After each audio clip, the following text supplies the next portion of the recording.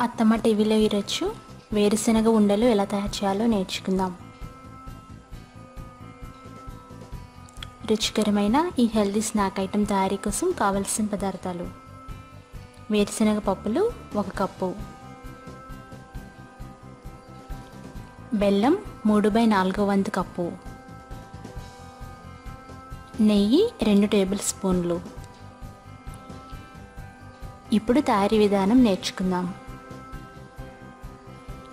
ముందుగా వేరుశెనగ గుళ్ళని పది నిమిషాల పాటు లో ఫ్లేమ్లో వేయించుకొని చల్లారబెట్టుకొని తొక్కలు తీసి పక్కన పెట్టుకోవాలి. తర్వాత అదే బాండీలో బెల్లం వేసి కరగబెట్టుకోవాలి. బెల్లానికి హాఫ్ అమౌంట్ అంటే ఒక కప్పు బెల్లానికి దానిలో సగం వాటర్ పోసి పాకం పట్టుకోవాలి.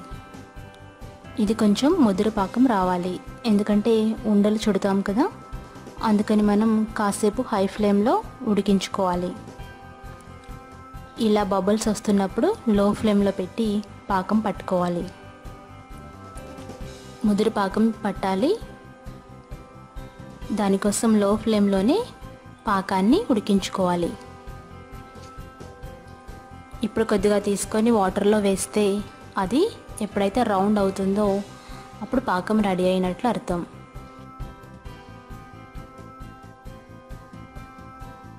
అలా పాకం రెడీ అయినప్పుడు దాంట్లో తొక్కలు తీసి పెట్టుకున్న వేరుశెనగ గుళ్ళు వేయండి.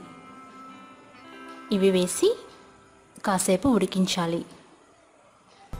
త్వరగా గట్టిపడిపోతుంది లో ఫ్లేమ్లో పెట్టి ఐదు నిమిషాల పాటు ఉడికించాలి. అందులో నెయ్యి వేసి కాసేపు ఉడికించండి. ఇలా నెయ్యి వేసిన తర్వాత ఒక రెండు నిమిషాలు ఉడికించి కాసేపు చల్లారబెట్టాలి.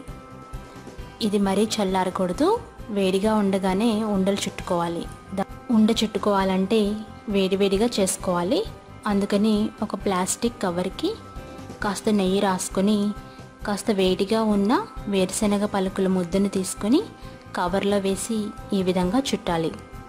అప్పుడు మన చేయి కాలకుండా ఉంటుంది అలాగే ఉండ కూడా వస్తుంది.